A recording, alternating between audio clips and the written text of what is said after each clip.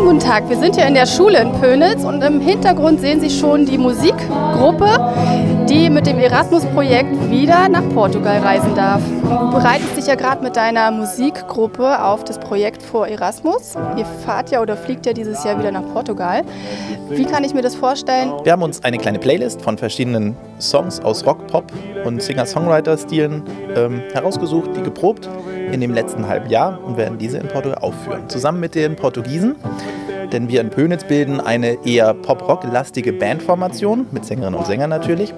Und in Portugal erwartet uns eine akustische Truppe aus jungen musizierenden äh, Damen und Herren, die aber dann auch sowas wie Violinen, Querflöten und Klarinetten spielen. Wir werden nicht nur nach Portugal zum Musikmachen fahren, sondern wir werden natürlich auch, und das ist Sinn und Zweck von Erasmus, von dem Programm, interkulturelle Erfahrungen sammeln müssen und dürfen. Das heißt, wir sind dort in Gastfamilien untergebracht und werden natürlich vor und nach den Proben auch Land und Leute kennenlernen. Und ganz am Schluss, wenn wir uns schon von unseren portugiesischen Freunden verabschiedet haben, werden wir noch zwei Nächte und knapp drei Tage in Lissabon verbringen als deutsche Gruppe und werden uns da auch noch einmal die wirklich echte, große, schöne Hauptstadt Portugals anschauen.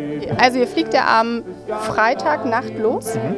und kommt ja dann am 24. wieder zurück. Wie sieht das denn mit den ähm, portugiesischen Austauschschülern aus? Die werden ja hier bestimmt auch herkommen. Ja, genau, die kommen schon am 29.02. Das ging von der äh, Zeitplanung der beiden Schulen nicht anders, aber das trifft sich auch sehr gut, denn sie werden vom 29. Februar bis zum 7. März bei uns hier in, auch wieder in Gastfamilien untergebracht sein. Und schon jetzt laden wir natürlich alle Zuschauerinnen und Zuschauer sehr herzlich ein, um unser großes Konzert am 5.3., das ist der Donnerstag, um 17 Uhr hier in der Aula der Grund- und Gemeinschaftsschule Pönitz zu besuchen und mit uns natürlich diese tolle Musik zu erleben.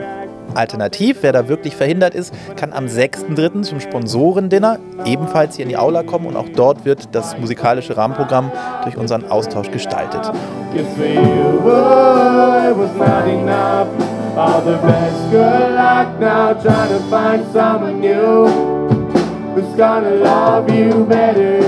Seit äh, vier Jahren lassen wir diesen Schüleraustausch zwischen Deutschland und Portugal über Erasmus laufen.